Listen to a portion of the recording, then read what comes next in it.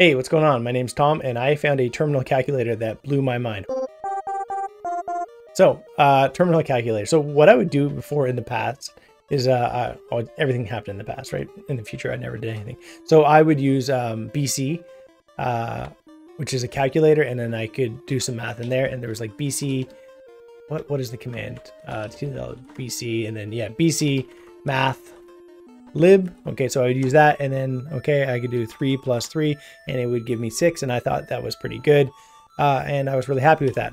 Okay, the program I'm going to show you now is insane compared to that. So it's called Qalc, like that, with a Q, and uh, we'll just jump into the REPL, uh, but we can do it from the command line as well. So 3 plus 3, let's just make sure it gets that right, because if it doesn't, that would be terrible. Bump up the font a little bit. Yeah, so 3 plus 3, it gets that right. Okay, and 3 minus 3, it also knows the answer to that. And it, it looks really pretty. Okay, so you're not impressed. Who would be?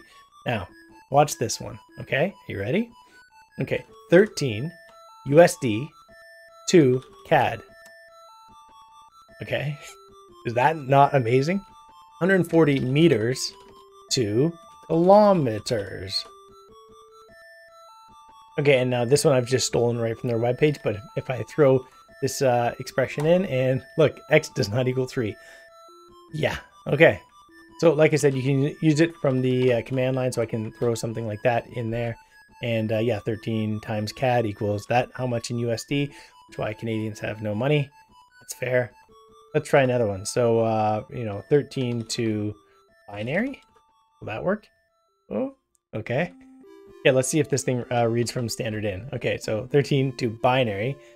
I wonder what's going to happen here. And then if I do a calc uh, to decimal, this probably won't work because it's going to get that 13. It's going to fall apart yeah, I don't know what it did there. It, it, did something I did not expect, but still very cool. Yeah, let's just do a couple, a couple more here. So four gigabytes, uh, two megabytes. How many will that be? And it is, uh, yeah, okay, that is, I guess, right. And what if we do four gibby bytes, gibby bytes to megabytes, mibby bytes? Yeah, I don't know. Anyway, yeah, that looks right. To MB. Uh, okay, yeah, so good enough. Um, I'm sure this is right. I'm sure I'm wrong. Now, if somebody ever asks you, okay, in an interview or something, how would you go about building a calculator? The answer should be, I would use the same library that Qalculate is using. Qalculate is also a library on, as well as being a CLI. There's also GUI and all that stuff. But hey, we do things in the terminal right here. That's how it goes. Uh, you know, no exceptions. A few exceptions. If you have a terminal program that is as cool as this, please let me know. I'd love to see it. Uh, if not, you know, have a good day. Talk to you later.